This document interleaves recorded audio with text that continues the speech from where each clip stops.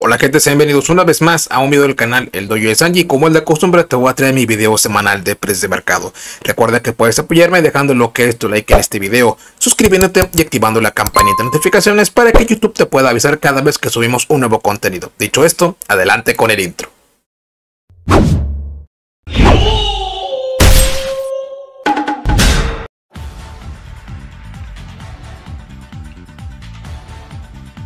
Ya con los resultados que tuvimos de el White Series de Hartfield, también tuvimos las nacionales de México, de Guatemala, de El Salvador, entre otros lugares de Latinoamérica, vemos que muchas cartas fueron bastante interesantes para verlas en las mesas de juego. Y vamos a comenzar el video con un monstruo que curiosamente eh, al principio de su expansión no se le tomó mucha relevancia, aunque tiene un arte bastante bizarro o oscuro para lo que es el Yu-Gi-Oh! Me estoy refiriendo a The Zombie Vampire. The Zombie Vampire es un exit de rango 8 que tiene la particularidad de que no puede ser eh, seleccionado con efectos de cartas de monstruos que fueron invocados especialmente excepto por los que fueron invocados por eh, desde el cementerio. Además de que pues obliga a ambos jugadores a mandar cuatro cartas del tope del deck al cementerio y si el oponente mandó algún monstruo por este efecto puede revivirlo, lo cual te está dando más recursos en el campo para hacer jugadas exit o también por enlace. Curiosamente este monstruo está siendo utilizado por lo que es el motor de los Punk, ya que ellos pueden invocar fácilmente monstruos de nivel 8 como lo que es el Foxy Toon y también lo que es el Chaos Ruler para tener los dos materiales necesarios para poder invocar a este monstruo lo cual hace que se pueda convertir en una carta tech bastante interesante para lo que es el arquetipo. Déjame informarte que para lo que son el precio de el este Zombie Vampire solo tiene una versión ya que este monstruo es relativamente nuevo ya que solo tiene la versión Secret Rare de Battle of Chaos.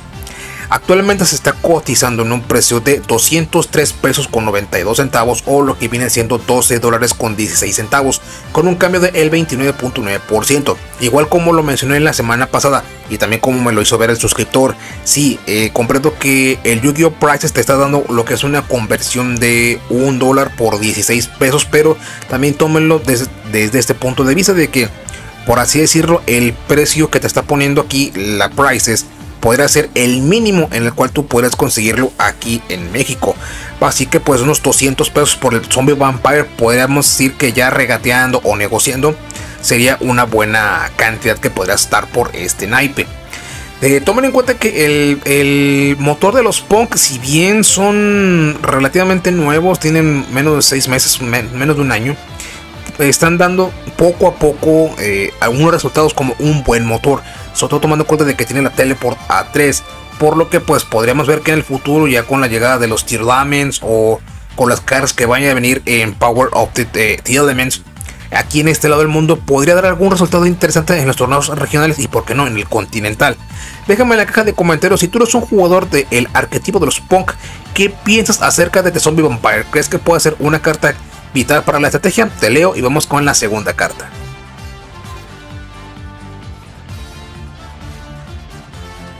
Ahora como segunda cara tenemos la consecuencia del Nacional de México y también una consecuencia de la banlist que tuvimos hace unas cuantas semanas ya que en el Nacional de México tuvimos que lamentablemente la final y no es por demeritar a los jugadores sino que esperábamos un poquito más de variedad en el enfrentamiento final es que los Sword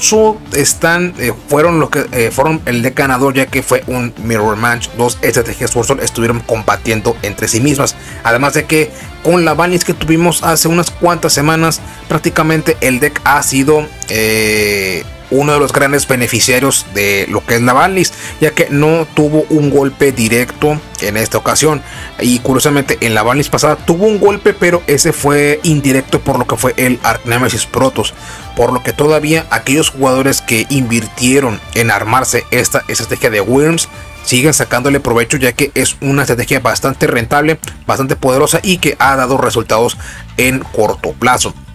Por lo que si tú quieres empezar a jugar lo que es esta estrategia por lo que queda de el año puedes empezarlo ya que una de las cartas más importantes de la estrategia empieza a subir de precio debido a que no tuvo golpes en la lista y sobre todo por los resultados que tuvo aquí en México me estoy refiriendo a Soul of Moye como ya saben, es el Sword Soul de agua que te permite robar cartas, además de que obviamente te puede dar lo que es un sincro de nivel 8.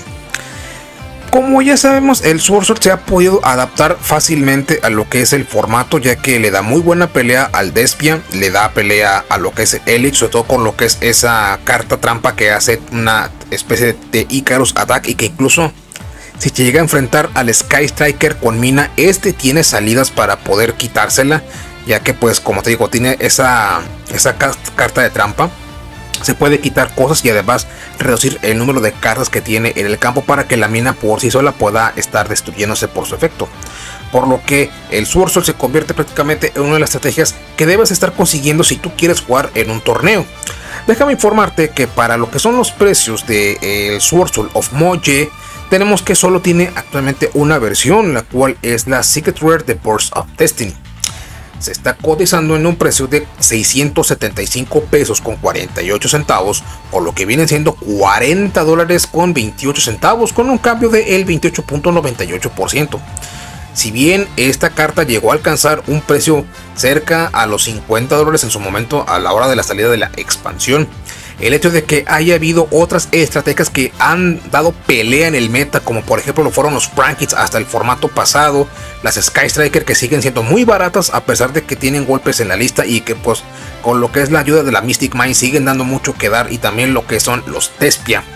Se sigue manteniendo como un deck que puedes jugar sin ningún problema ya que tiene mucha explosividad y que puede ganar el duelo rápidamente. Por lo que si tú quieres jugar este, este naipe tienes que conseguir lo que son al menos dos copias de Moye ya que prácticamente es el motor principal del arquetipo. Déjame en la caja de comentarios tú qué piensas acerca del el motor de los Warsoul. ¿Crees que vaya a seguir dando pelea? ¿Crees que vaya a ganar el continental de aquí de Latinoamérica? Te leo y vamos con la tercera carta.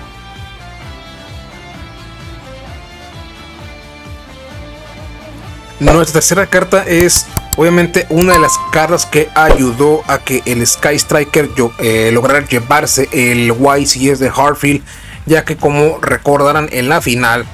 el uso de la mina mística le dio bastante juego al jugador eh, de la Sky Striker para poder tener tiempo suficiente y conseguir recursos necesarios para poder llevarse lo que fue el duelo. El uso de la mina mística se ha convertido prácticamente en la llave principal para que esta estrategia pueda dar eh, todavía pelea en el formato actual. Y obviamente aparte de lo que es la mina mística, ocupamos cartas que nos puedan estar llevando el naipe ya sea al campo o a la mano, incluso hasta reciclado del cementerio.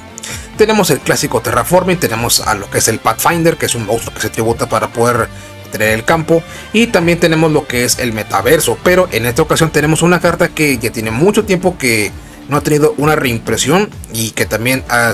la última que tuvo también fue en versión común y que es muy útil ya que al ser una carta mágica de juego rápido tiene el factor sorpresa de activarse en el momento en el cual el jugador eh, rival empieza a hacer sus movimientos. Me estoy refiriendo a lo que es eh, Demise of the Land. Esta carta mágica pues tiene una condición de activación bastante sencilla. Simplemente es que el oponente haga invocaciones especiales, ya sea de uno o de, o de varios monstruos a la vez, lo cual te da el acceso a poder activar una carta de campo directamente desde el deck. Y toma en cuenta que es activarla directamente desde el deck, por lo cual eh, esta carta puede burlar fácilmente a lo que es la Ash Blossom. Además también es como por ejemplo la, la Necro World Necrobanshee que también te activa el Zombie World, lo cual hace que tener la mina mística al momento de que tu oponente por ejemplo tenga un Sword Soul ya con el token y, lo, con lo que es el monstruo prácticamente no tenga mucho, mucho recurso o cuando ves que tu oponente ya tiene dos o tres monstruos más que tú la puedes activar inmediatamente para paralizarlo y tú simplemente con la invocación de Hayate puedes estar atacando directo para hacer lo que es tu juego por lo que Demise of the Land es una carta perfecta para poder apoyar la estrategia de la Sky Striker y también para poder activar lo que es tu mina mística. Déjame informarte que para lo que son los precios de esta Demise of the Land solo tiene dos versiones, las cuales son comunes. La primera es la versión común de OTS Tournament Pack 14. Esta versión actualmente se está cotizando en un precio de 100 pesos con 45 centavos o lo que viene siendo 5 dólares con 99 centavos y vaya que ha tenido un, cambio de escándalo. 84.88%. Obviamente con el resultado que tuvo en el YCS de Hartfield, te das cuenta de que esta carta empieza a ser muy buscada por el factor de que pocas cartas las pueden estar negando o que el oponente no pueda tener mucha interacción con este naipe. También tenemos la versión común de Light of Destruction que salió hace ya 14 años, que para mayor referencia Light of Destruction es la expansión donde salen los Lightsworn y también lo que es honesto.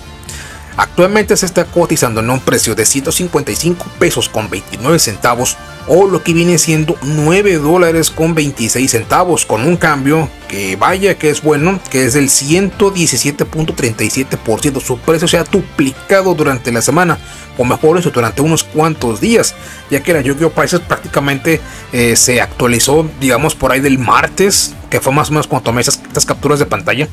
Quizás a lo menos de que estés viendo este video el precio todavía pueda estar más elevado, ya dependerá mucho de lo que es el mercado. Si tú vas a jugar el mazo Sky Striker todavía con lo que es el apoyo de la mina mística, será muy bueno que consigas este tipo de naipes que te empiezan a buscar esta carta de campo, ya que la mayoría de los jugadores meta o debido a que sus estrategias se mm, basan en estar negando cosas eh, lo que es el campo, como por ejemplo lo que es el caso de los eh, de lo que es el Despia o lo que es el Sword no tienen mucho destructor de cartas backrow. Destructores de cartas mágicas se trapa como lo que es el Lightning Storm, con lo que es el Twin Twister, Cosmic Cyclone o lo que es Harpies Feather Duster, entre otras cosas. Por lo que tienes al menos la oportunidad de tener el duelo 1 ganado si puedes aplicar lo que es una mina mística. Ya para lo que es el duelo 2 y 3 ya tienes que estarte enfocando en que tu oponente va a jugar ese tipo de cosas. Prácticamente el único mazo que tiene inmunidad a lo que es la mina mística es el Eldritch. Ya que por ejemplo puedes activar lo que es eh, el sanguín, el el, el sanguín elixir para poder traerte al Golden Lord y luego puedes estar eh, buscando con el conquistador para destruirle posteriormente una carta de una carta al oponente ya que como es un efecto de una carta trampa no tiene ningún problema para poder ser destruido, para destruir lo que es la Mystic Mine. Déjame en la caja de comentarios y quiero saber mucho tu opinión. ¿Qué piensas acerca de la mina mística? ¿Crees que por fin vaya a ser tocada aquí en el TCG? ¿Que vaya a ser limitada como lo fue en el OCG? ¿O creen que vaya a ser directamente prohibida? Esta carta te da mucho debate para pensar si es un mal necesario en el juego o no. Quiero ver tu comentario y también quiero decirte que puedes apoyar mucho lo que es este canal dejando lo que es tu like en el video, dejando lo que es tu comentario y también si crees que mis videos empiezan a ser cada vez mejor, te podría pedir también que puedas dejar lo que es eh, tu apoyo en lo que es la sección de gracias que está debajo aquí en la pantalla para que podamos eh, mejorar lo que es la calidad del contenido con un mejor equipo. Obviamente esto siempre y cuando tú consideres que mi video está siendo de mucho, de mucha ayuda para lo que es la comunidad. Dicho esto, vamos con la cuarta carta.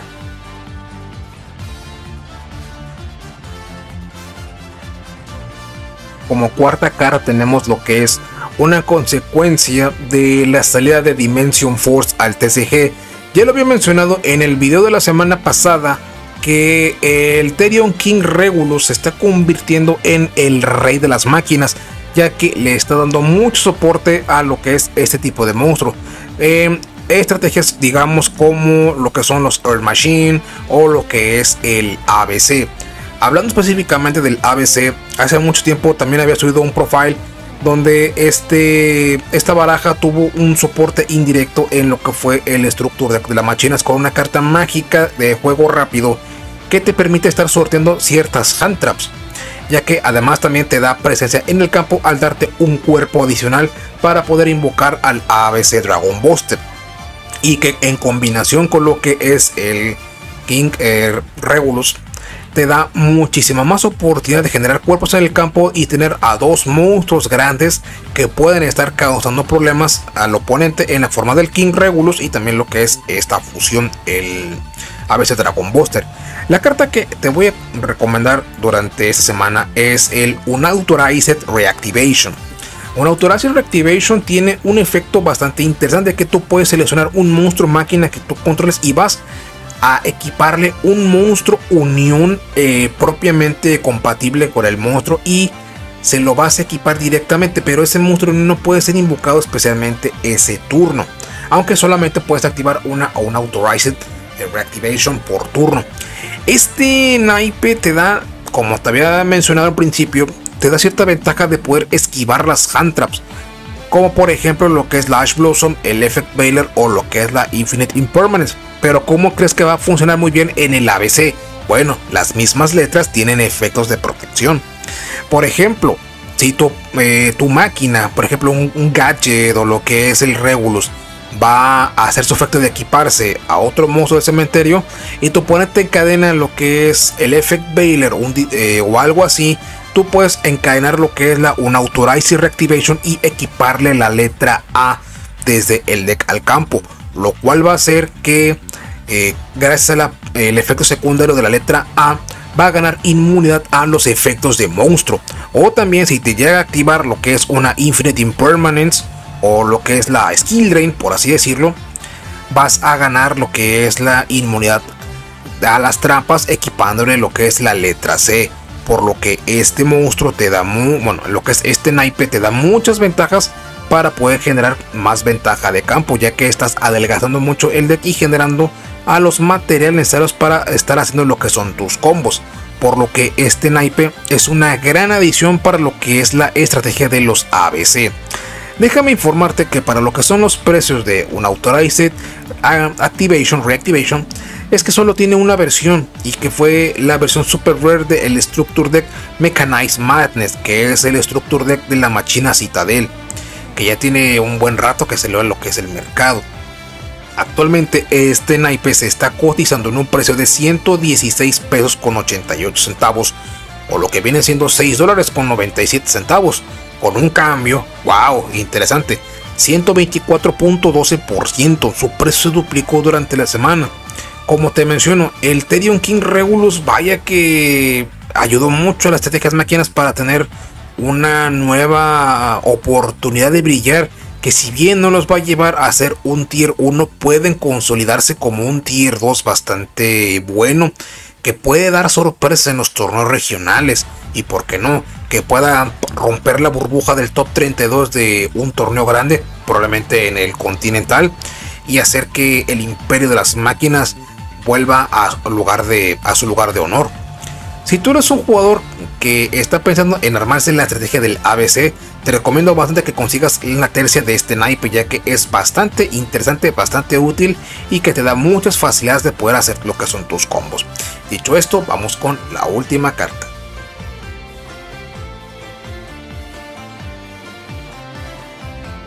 Y bueno, ya para acabar con lo que es este video y como lo viste probablemente en la miniatura del mismo, vamos a cerrar con lo que es la carta para el formato Edison, pero que curiosamente este naipe también es útil prácticamente en cualquier formato del Yu-Gi-Oh! y sobre todo también ha ganado una relevancia durante el actual.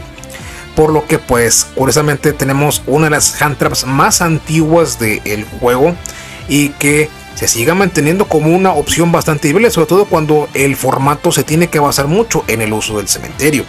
Antes de imaginar que estoy hablando de lo que es el Diddy Crow.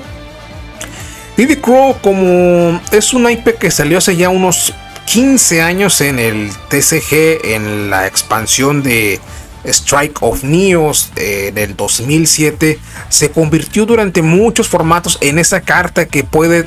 tener el factor sorpresa de poder interrumpir una jugada del cementerio del oponente. Recuerdo que se, utilizaba mucho con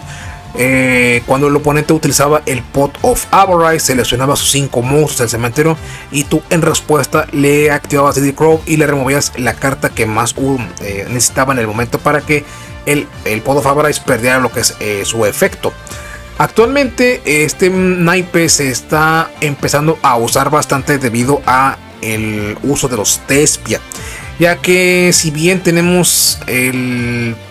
eh, lo que es la Ghostbell and Haunted Mansion, que es una hand bastante útil para lo que es ese, eh, ese esa estrategia como una forma de estarlo parando.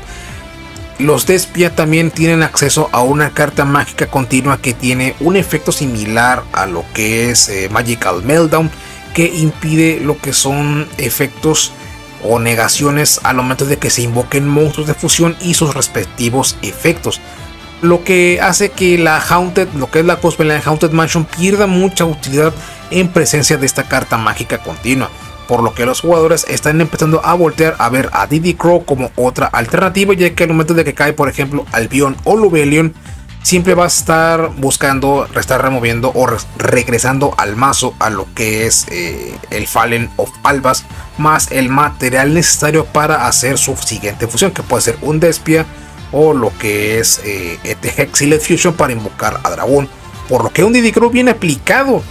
puede ser la solución para poder estar evitando un spam masivo de monstruos. Y que hablar del formato Edison, donde los monstruos de planta o lo que son los mazos sincros eran bastante útiles, sobre todo con cartas como por ejemplo el Junk Synchron que seleccionaba algo del cementerio para poder revivirlo en posición de defensa y posteriormente hacer las invocaciones por sincronía. Por lo que este naipe tiene ese factor sorpresa que es bastante nostálgico ver que este, este naipe ya tiene más de 15 años eh, de existencia aquí en este lado del mundo y sigue siendo bastante útil y que también es bastante económico. Y hablando de económico, déjame decirte que para lo que son los precios de este naipe, que vaya que ha tenido muchísimas eh, versiones a lo largo de, estos ah,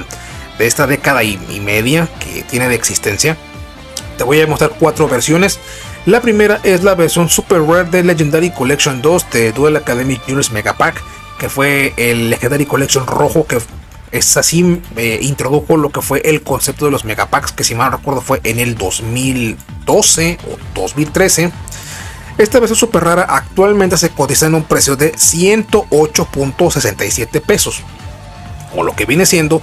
6 dólares con 48 centavos, con un cambio del de 8.18%, eh, un cambio bastante leve, ya que pues es un IP antiguo, pero que tampoco no ha tenido una alta demanda. También tenemos la versión Ultra Rare de Dual Devastator. Esta se está cotizando en un precio de 78 pesos con 65 centavos o lo que viene siendo 4 dólares con 69 centavos con un cambio del 32.86%. Esta versión de Duel Devastator, de eh, tiene buena, una buena rareza, además de que prácticamente salía eh, para todos los jugadores, ya que este producto era una reimpresión masiva de Handtraps por lo que podemos decir que es una de las versiones más accesibles de este naipe. También tenemos la versión Super Rare de Red Yellow Mega Pack, que para mayor referencia, el Special Edition de este, de este producto tenía una versión super rara de el Legendary Six Samurai Shenkan, que personalmente a mí no me gusta esa versión. Se cotiza actualmente en un precio de 154 pesos con 62 centavos, o lo que viene siendo 9 dólares con 22 centavos con un cambio del 90.50%. Este, esta versión sí ha subido bastante, sobre todo porque el Red Yellow eh, había bastante, pero este al ser un set de reimpresiones tenía más de 200 cartas, por lo cual eh, si lo tomamos eh, como una analogía se parece mucho a lo que es la Megalata, por ende al tener el doble de cartas que una expansión normal era más difícil que te saliera el Diddy Crow. Y también tenemos lo que es la versión común de el Turbo Pack Booster Tree que salió hace ya unos 12 ah, años. Esta versión común de el Diddy Crow actualmente se está cotizando en un precio de 100 pesos con 45 centavos o lo que viene siendo 5 dólares con 99 centavos con un cambio de el 70.17%.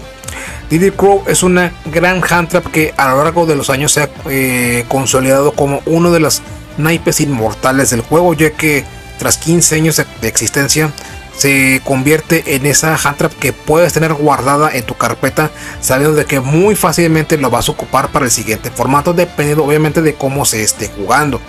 Por lo que prácticamente todos los jugadores deberán tener su tercia ya guardada porque este naipe ha tenido muchísimas pero muchísimas reimpresiones a lo largo de todos estos años. Déjame en la caja de comentarios ¿Tú qué piensas acerca del Diddy Crow? ¿Qué crees que pueda ser una hand trap que siga dando de quedar en este formato? ¿Crees que vaya a cambiar mucho por el siguiente? Te leo y vamos al final. Y bueno, gente, espero que te haya gustado mucho este video semanal de precios de mercado. Espero que hayas aprendido algo acerca de la historia del Yu-Gi-Oh! y también, sobre todo, algunas cartas que hayan eh, sido bastante útiles para lo que es los torneos grandes, como lo vimos en la semana pasada. También recuerda que hacemos directos los viernes a las 10 de la noche tiempo del centro de México, donde hablamos de diversos temas mientras jugamos eh, duelos de Master Duel. También recuerda que puedes apoyar lo que es el canal con lo que es tu like en este video, suscribiéndote, activando la campanita de notificaciones y también tenemos habilitada la opción de gracias si tú piensas que mi contenido es digno de recibir lo que es un apoyo monetario por parte tuya. De antemano, te agradezco bastante el tiempo que me has dedicado para ver este video y recuerda que la práctica hace al campeón y en el dojo de Sánchez hace mucho mejor. Hasta luego.